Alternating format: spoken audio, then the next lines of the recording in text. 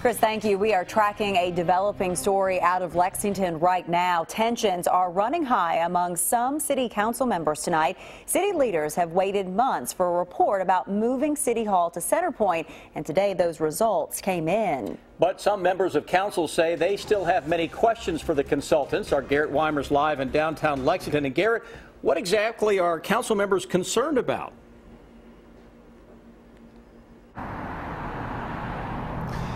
Council is in closed session now, but before that, it was very heated. The bottom line, that report gave five different options. The consultants called three of those five options high viability. Those were the transit center site, the convention center site, and yes, CentrePointe. The report was supposed to show where Lexington could put a new city hall. Consultants say the city needs 180,000 square feet to be able to consolidate government operations into one building. Now, one of the issues consultants say the CentrePointe site has includes the size of the office building. Under the current plan, the report also says a government subsidy subsidy would be needed for underground parking below CentrePointe. There are several issues, but the consultants say there are also opportunities there.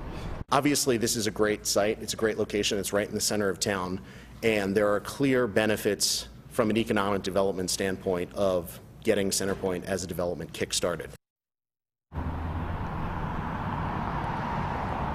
As I mentioned, the work session got heated. There was a lot of debate over whether information that was being released should be released. That turned what was expected to be a presentation into a contentious discussion about what's been a controversial topic here in Lexington for years now. And we'll have more from inside the work session coming up tonight at 11.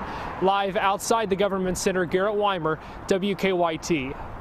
Uh, Garrett mentioned five options for the relocation of City Hall. The reports to medium viability sites are the Lexington Herald Leader site and the downtown block where the library currently sits.